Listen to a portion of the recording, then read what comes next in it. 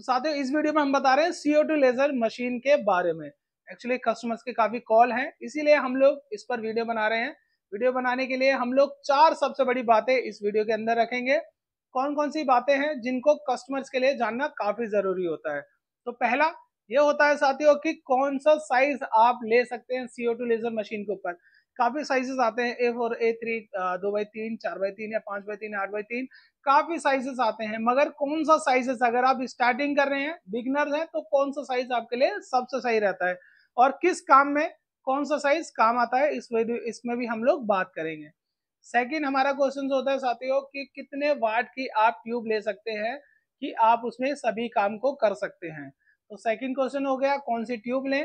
पहला क्वेश्चन है साइज़ दूसरा क्वेश्चन है आपका ट्यूब थर्ड क्वेश्चन है साथियों कि आपको कौन सा हेड ले सकते हैं? सिंगल हेड लेना चाहते हैं डबल हेड लेना चाहते हैं? काफ़ी कंफ्यूजन रहती है। सिंगल हेड में वर्क होगा डबल हेड में वर्क होगा। कैसे होगा? क्या प्रोसेस है?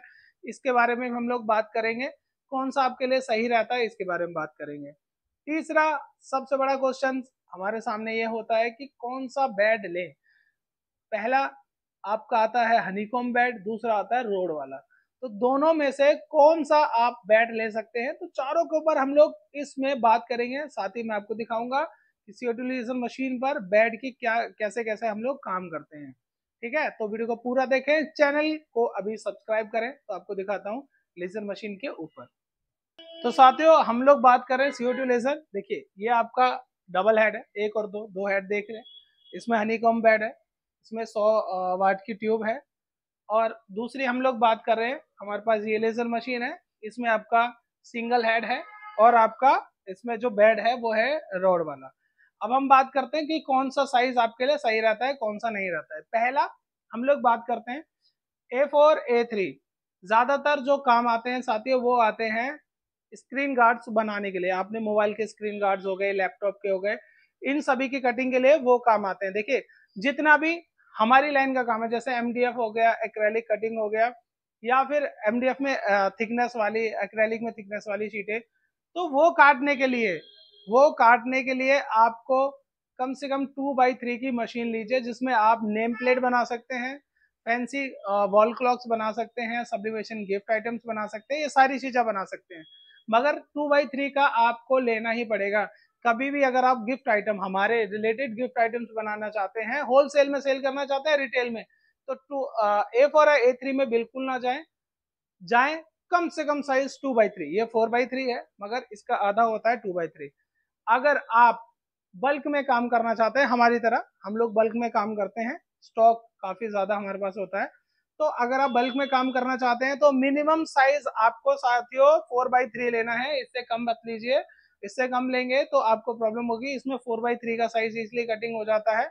वैसे इसका साइज़ बेड साइड साइज़ होता है चौदह सौ इन, चौदह सौ इंच एम इंटू बारह सौ एम एम तो ये इसका बेड साइज़ होता है फोर बाई थ्री की शीट इजिली कटिंग होती है। तो अगर आप, और अगर आपको और भी बल्क काम करना है तो आप इससे ऊपर साइजेस में जा सकते हैं। अब हम लोग बात करते हैं साइज़ का आपके सामने हो गया। सेकंड हम लोग बात करते हैं, कौन सी ट्यूब आप ले सकते हैं। देखिए, हमारे पास दो ट्यूब हैं। उसमें 1200 इसमें उसमें एक सौ बीस वाट की है, इसमें 100 वाट की है। दोनों में आठ, बारह एम तक आप एक्रेलिक कटिंग कर सकते हैं, कोई प्रॉब्लम नहीं होती है। अगर आप 80 वाट में जाते हैं तो 8 एम तक की शीटें आप इजिली कटिंग कर सकेंगे कर सकेंगे, कोई दिक्कत नहीं होगी। मगर आप 80 वाट से नीचे जाते हैं तो आपके लिए सही नहीं है। तो मैं आपसे कहना चाहता हूँ, अगर आप नेम प्लेट एक्रेलिक इसका काम करना चाहते हैं लाइफ वाट ट्यूब की ज़्यादा रखना चाहते हैं तो कम से कम 100 वाट पर आप ज़रूर जाइए। बेशक 120 वाट पर ना जाए, मगर 100 वाट आप लीजिए। अगर आप फोर बाई थ्री ले रहे हैं या टू बाई थ्री ले रहे हैं, तब भी। तो 100 वाट आपके लिए सफिशियंट है।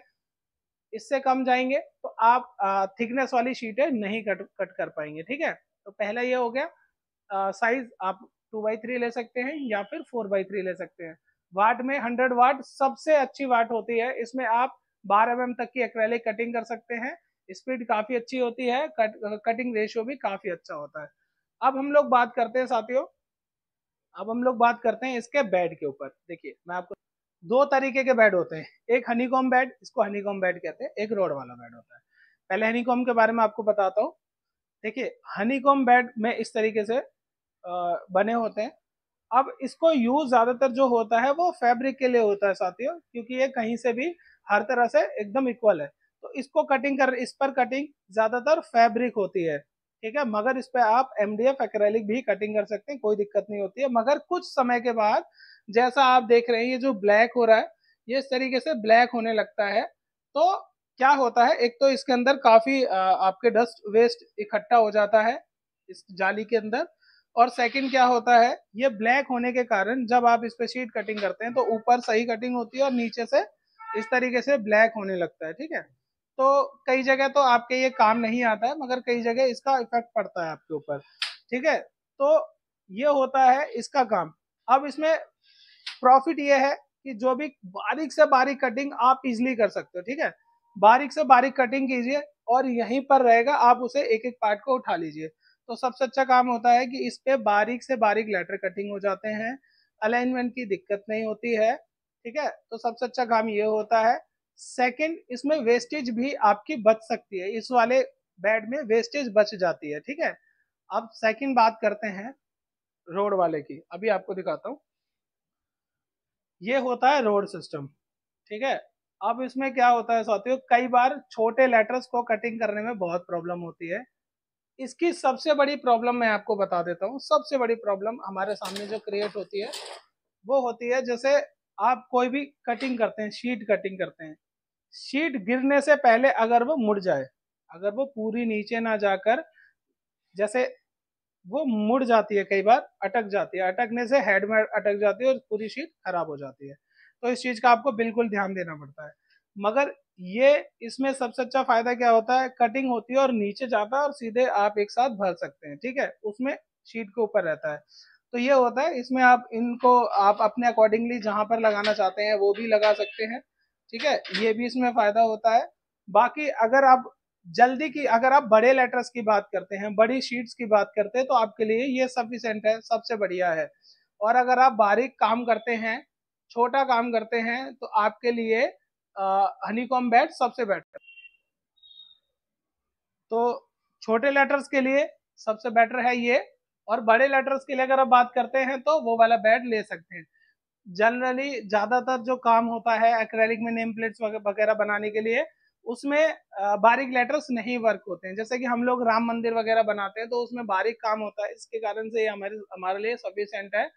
काफ़ी अच्छा है। मगर अगर आप इसका काम छोड़ देंगे और दूसरा काम करेंगे, जैसे एक्रेलिक हो गए नेम प्लेट्स वगैरह हो गई तो उसके लिए वो काफ़ी बेटर है, कोई प्रॉब्लम नहीं होती है। ठीक है? तो दोनों का, दोनों के बारे में बता दिया तीसरा डबल हेड ले या सिंगल हेड ले। देखिए, दोनों में दोनों में काफ़ी फ़र्क है, ठीक है? सिंगल हेड में आप सिंगल हेड पे काम कर सकते हो। मगर डबल हेड में आप डबल पर भी काम कर सकते हो और सिंगल पे भी काम कर सकते हो। अब दोनों में फ़र्क आपको बता देता हूँ, क्या होता है? जो कटिंग ये हेड करेगा, वही सेम कटिंग ये हेड करेगा, ठीक है? ऐसा नहीं आपने चार बाय तीन की शीट लगाई तो ये अलग कटिंग करेगा, वो नहीं, ऐसा नहीं होता है। जो पार्ट ये कटिंग करेगा फोर बाई थ्री के सीट लेंगे। टू बाई थ्री में अगर आपने साइज़ मेंशन मेंशन किया है तो जो साइज़ टू बाई थ्री का कटेगा, वही इधर वाला ये कटिंग करेगा। तो इस चीज़ का ध्यान देना है, दोनों अलग अलग कटिंग ना करके एक ही कटिंग करेगा। ठीक है? अब क्या होता है साथियों? इसमें आप अगर किसी फ़ाइल को सिंगल हेड से, अगर किसी फ़ाइल को कटिंग करने में आपको एक घंटा लग रहा है तो उसी में चार बाई तीन की दो कटिंग होंगी, जिसमें चार बाई तीन की फ़ाइल में दो कटिंग होंगी तो उसमें आपका लगेगा एक घंटा, मगर दो कटिंग हो जाएँगी। जहाँ एक घंटे में एक कटिंग कर रही है, वहाँ एक घंटे में दो कटिंग करेंगे। तो आपका थर्टी मिनट का आपका प्रॉफिट होता है। तो ये फ़ायदा होता है जब आप ड्यूल हेड लेते हैं। अब इसमें सबसे बड़ी बात क्या होती है साथियों? इसमें आपका, अगर आपको सिंगल हेड करा, चलाना है तो सिंगल हेड चलाइए।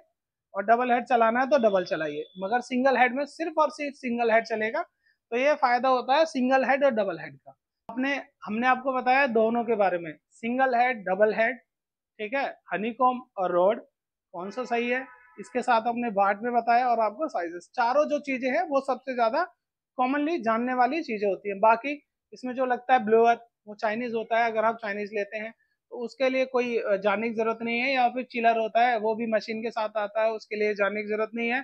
एक एयर कंप्रेसर आता है, वो भी मशीन के साथ आता है। तो तो ये चीज़ें बेसिक है, इन चीज़ों के लिए जानने की ज़रूरत नहीं है। जो जानने की ज़रूरत है, वो है आपका साइजेस कौन सा आपके लिए क्लियर रहेगा, या फिर आपका ट्यूब और इसके साथ आपका हो गया डबल हेड या सिंगल हेड या फिर ये बेड ये चार चीज़ें जानना सबसे ज़्यादा ज़रूरी होता है। और इसके साथ अगर आप ट्रेनिंग भी लेते हैं तो भी वो इंजीनियर जो है वो आपको ट्रेन करता है, उसके लिए कोई दिक्कत नहीं होती है। बाकी हमने यू कंपनी की मशीनें ली हुई हैं, दोनों दोनों हमारी सुपर वर्क कर रही हैं। आप हमसे इनका कॉन्टेक्ट ले सकते हैं, अगर आपको इनका कॉन्टेक्ट लेना है, जहाँ से मशीनें मिलती है। ये इम्पोर्टर है, बाहर से मशीन मंगाते हैं, यहाँ पर सेल करते हैं तो कोई दिक्कत नहीं होती है।